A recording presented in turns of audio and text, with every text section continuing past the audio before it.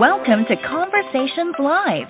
For more than a decade, we've brought you the best in books, entertainment, celebrity interviews, and current events. When the movers and shakers of the world have something to say to you, they say it to us first. Here's your host, Cyrus Webb. Welcome back, everyone, to Conversations Live. I'm your host, Cyrus Webb. Glad you all could join us once again. But for our radio audience here in Mississippi at WYAD 94.1 FM and WYADonline.com, we're glad that you all could be with us. I was tuning in to our friends at iHeartRadio and Amazon Music Podcast because you all could join us as well. This is part of our Music News segment here at WYAD, and today we're talking about Blood Cancer Awareness Month. Among other things, September is recognized as Blood Cancer Awareness Month. It's an opportunity for us to be able to honor the more than 1 million people in the U.S. living with or in remission from blood cancers. Biomarker testing is an important tool that doctors can use to find the right treatment for certain types of cancers, like AML, which is a difficult to treat cancer of the blood and bone marrow.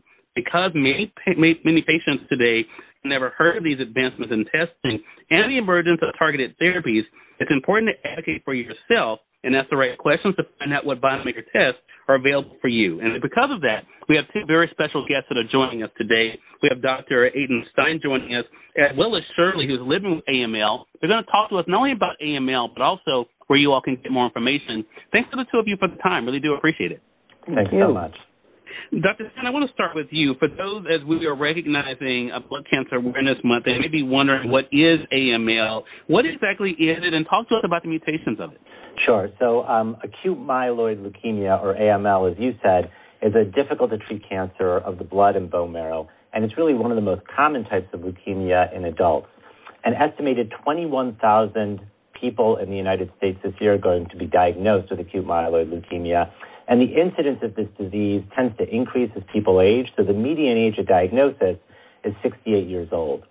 It occurs when a mutation, meaning something goes awry in the DNA of a type of white blood cell in the bone marrow, and that mutation leads to the uncontrolled growth of these white blood cells, and that is what cancer is. Cancer is the uncontrolled growth of cells, in this case, white blood cells, um, and that's what causes the disease. So what we look for is we look for specific mutations by biomarker testing that we can potentially target with our therapies. Have you found, Dr. Stein, to, to kind of stay with this topic, have you found that finding the targeted treatment has really been the key when it comes to cancers like AML? It, you know, it really is, and I'll tell you why. You know, what we used to do with this disease is we used to give traditional chemotherapy. Chemotherapy non-specifically kills all rapidly dividing cells. It kills cancer cells, it kills healthy cells, and that's why people would get a lot of side effects from traditional chemotherapy. When you can give a targeted therapy, which is sort of like putting um, a key in a specific lock, um, every cancer has its own key. When you can identify that key, you can come up with what the best treatment is for the cancer. You can give that targeted therapy. You can hopefully um, more appropriately target those cells and avoid side effects like you might get with chemotherapy. Hmm. I love that analogy with the, the key and the lock. That's something I think our audience can definitely appreciate. Shirley, I really appreciate you being with us today. If you don't mind, tell us about your own diagnosis with AML, how, how you found out, and what it's been like for you. Well, 10 years ago, I was diagnosed with MDS, myelodysplastic syndrome, and it progressed to AML, acute myeloid leukemia. Uh, I was a retired university professor at the time, and I took it on as a major research project that was very, very personal to me, and quickly realized that no one was going to do this job for me. I had to speak up and be my own advocate. My spouse and I were music perf- were performing on summer stages, and even though that was wonderful and enjoying it so much, I kept my blood draws going. And I watched them sinking lower and lower. And at one point, an oncologist said to me, Shirley, you have four to six months to live. That was my lowest point. So we consulted with some renowned specialists, and one oncologist said to me, Shirley, you need a biomarker test. It's possible you have a mutation. So that was my next step.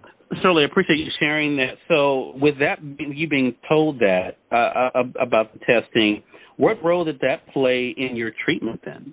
Well, it was just a routine appointment that I had with my oncologist, and he handed me the paper and said, "Shirley something new has come up. This is a mutation, and it's IDH1. And I said, What is that? What does it mean? And he said, It means that your disease is progressing. What I didn't realize at the time was that was a good thing. That was a major turning point in my 10 year journey because it allowed my oncology team to identify a target and design a treatment plan that was specific to my own disease. And I always say I was in the right place, the right time, with the right mutation. Dr. Stein, what role, I mean, we, we appreciate Shirley hearing her experience and her conversation with her oncologist, but what role does mutational testing have in the cancer diagnosis like AML? Yeah, so, you know, like Shirley said, uh, mutational profiling, which, which has a couple of other names that you might hear, a patient might hear, molecular profiling, biomarker testing, it's really, really important when it comes to understanding and treating acute myeloid leukemia. Because in acute myeloid leukemia, we've identified a number of specific mutations for which there are specific therapies that target those mutations. Like in Shirley's case, where uh, this IDH1 mutation was identified, that actually occurs in up to 10% of patients with acute myeloid leukemia, and it offers the oncologist the opportunity to design a targeted treatment approach that really goes after that specific mutation. So I think as a general rule, it's important for patients to talk to their physicians, whether they've got AML, whether they have any other sort of cancer, about whether mutational mm. profiling has been performed, because figuring out what the mutations are is really so critical in 2022 to design the right treatment plan for a patient's disease, and in our case, AML. And that's why these conversations are so important. So, Dr. Stein, when it comes to our audience, what questions should they ask if they have been diagnosed with a cancer like AML? So it's really important, just like Shirley did. Whenever I, I hear, um, when I'm hearing Shirley, I, I'm so inspired by what she's saying. It's really important to advocate for yourself and talk to your oncology team and ask, you know, are you going to be testing for specific mutations? When are you going to be doing that test? How long is it going to take to receive the results? And most importantly, you know, how are those results going to affect the treatment options I have and my treatment regimen? You can actually learn a little bit more about this by going to this website, servier.us backslash biomarker testing, S-E-R-V-I-E-R dot U-S backslash biomarker testing. Love that. Love that. Well, Dr. Stein, Shirley, thank you so much for sharing this great information. We'll make sure that we link that, that website up for our audience here. And it goes without saying, the two of you are welcome back on the program anytime. Thank Thanks you so much. And we thank your audience for tuning in to another great segment of Conversations Live, part of our Newsweek and News segment here at WYAD 94.1 FM and WYADonline.com. Until next time, I'm your host, Cyrus Webb, saying as always, enjoy your day, enjoy your life, enjoy your world. Thank you all for choosing Conversations Live. Let's go make today amazing. Take care.